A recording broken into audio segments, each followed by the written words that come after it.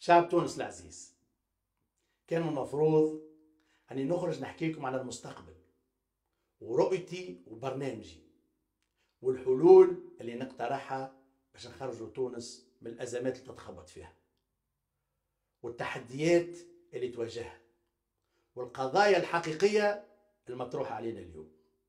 قضايا كيما المعيشة نتاع التوانسة اللي ما عادوش خالطين. قضايا كيما الميزيريا والفقر. اللي ماشي ويستفحل قضايا كيما البطالة اللي مست أكثر من نص الشباب. العطش ومشكلة المياه. الاقتصاد المنهار واللي حابس تقريبا. انتشار الفساد واستفحاله. العشوائية.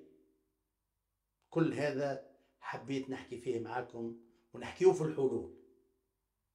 لكن مفروض علي اليوم نحكي لكم حاجة أخرى. نحكي لكم على شابة تونسية عمرها 24 سنة متخرجة من كلية الصحافة. شابة تونسية حلمت بتونس ما خير. تحمست بعد 25 جويلية وساهمت في تأسيس حزب معارض حزب يؤمن بالكفاءات وبناء الحلول. البنية التونسية هذه اسمها سوار البرقاوي سوار صدقت أنه بعد الثورة يمكنها المساهمة في بناء تونس الجديدة. تونس اللي نحلموا بها تونس اللي رأيتها عالية. آمنت كيف قالوا لها أنه بلادنا تعطي فرصة للشباب. وصدقتهم صدقت أنه الشباب ينجم يساهم في العمل السياسي. وعندها عامين تخدم وتحاول تقنع في الشباب وتشجعهم باش يدخلوا ويساهموا في الحياة السياسية. نهار 21 أوت نهار مش باش ننساه سوار ولا عائلة سوار ولا الناس اللي تعرف سوار عن قريب. نهار 21 تم الإذن بإيداع سوار البرقاوي في السجن. تعيين جلسة محاكمتها نهار 29 في إجراءات سريعة وغير مسبوقة. وكأنها تمثل خطر على البلاد. سوار ذنبها أنها اختارت مرشح تعرف وعندها فيه الثقة وتوسمت فيه الخير وتطوعت كيف كيف برشا شباب في حملة لم التزكيات في المصيدة بتاع التزكيات. كانت تدور من نهج لنهج ومن دار لدار رغم السخانة رغم حالتها الصحية اللي كانت مش في أحسن حالاتها. والتعب صبرت وضحت باش تساهم في نجاح مشروع آمنت به في تونس اليوم واضح أنه فما شكون ما يساعدوش أنه الشباب ياخذ المشعل ويفك بلاصته. ويلفق تهم كيدية.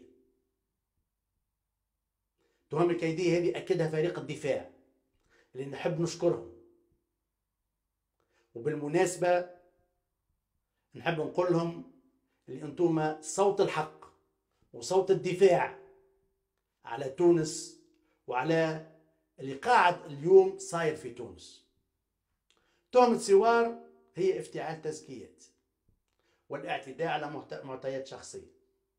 فريق الدفاع أكد براءة سوار وأنا شخصيا معرفتي بها النزاهة. ما كنتش نحب نحكي على التضييقات اللي تعرضت لها وقت تجميع التزكيات. اللي أنا سميتها مصيدة التزكيات. والهرسلة اليومية اللي تعرضوا لها المتطوعين. خلال كل المدة متاع تجميع التزكيات. واليوم نعلمكم أنه أهم نشاط أقوم به كمترشح نهائي بصفة باتة قانونيا للانتخابات الرئاسية هي الزيارات اللي نقوم بها من مركز المركز من مركز تحقيق لمركز تحقيق. مرة في سيدي حسين مرة في جندوبة في غارديماو مرة في سليانة. معناها جولة وحملة تحقيقية مش حملة انتخابية. والله أعلم الوقت باش تتواصل. اليوم المعركة معركة حرية ومعركة ضد الظلم. باش ما عادش تظلم حتى تونسي في بلاده في المستقبل.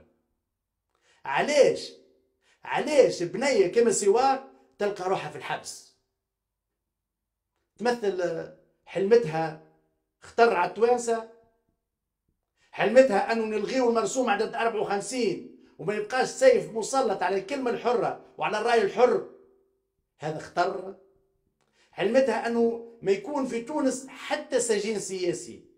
ولا صحفي ولا مدون وراء القضبان. حلمتها انه نخرجوا من الوضع المتردي اللي عايشينه؟ بالإنجاز وبالعمل وبالبناء مش بالوعود الوهمية. الإجراءات الأخيرة ضد فريق تجميع التزكيات والتضييقات ضدي. الهدف منها هي التضييق والتعطيل والإلهاء باش ما نحضرش حملتي الانتخابية كما يلزم. غايتهم تشويهي والمس من سمعتي خاطر ما لقاو حتى مدخل يمس من نظافتي وإلا من نزاهتي. غايتهم تشويه الفريق اللي معايا. وغايتهم تخويفهم وتخويف الناس اللي زكاتني. والناس اللي باش تخدم معايا الحملة. أما نقول لهم تهناو. تهناو خاطرنا قارين حساب لكل شيء. وماناش باش نغلطوا وإحنا ما نخالفوش القانون. ونخدموا أكثر من القانون نخدموا في إطار الأخلاق في إطار الشرف. بالمناسبة نحب نوجه رسالة واضحة. رسالة واضحة نحب نقول اللي راهو محاولات الإضعاف أن تحب اللي نتعرض لها واللي تمس من حقوقي كمترشح للرئاسة راني ماهيش مش ضعفني. راني باش نواصل ومانيش باش نتراجع. على خاطر اليوم العياشي زمال خلق أمل عند التوانسة وهز التوانسة الحلم كبيرة. والتوانسة اليوم ولاو ممنين أنه إمكانية التغيير أصبحت ممكنة وأصبحت واقع. أكثر من أي وقت مضى التغيير بالصندوق وبالانتخاب. وأنا مانيش باش نخذلهم. لأن المسألة مسألة وطن. ومسألة مستقبل شعب كامل. أصبحت الحرية والديمقراطية عنده جزء من هويته. أنا متمسك بخيار التوانسة. خيار الحرية والديمقراطية واحترام حقوق الإنسان. وأنه كل تونسي يعيش بقدره وكرامته في بلاده. أنا عايشي بن عبد الحميد زمان المرشح الوحيد اليوم اللي يتعرض للهرس لولا التضييقات. لأني نمثل بديل وطني بديل حقيقي وعندي مشروع للتغيير. المشروع هذا تجاوب معاه جزء كبير من التوانسة وتجاوبوا بكل إيجابية. مشروع ممن به وباش نناضل من أجله بكل شرف وبكل مسؤولية رغم كل شيء صار وباش نواصل حملتي بكل ثقة في النفس وبكل شجاعة وبكل عزيمة. باش نواصل حملتي وسط التوانسة ومع التوانسة وأنا مستعد لكل الاحتمالات على خاطر تونس وعلى خاطر بلادي. حتى لو خذاو قرار بسجني ودخولي للحبس مانيش باش نسلم. أنا عندي ثقة في التوانسة.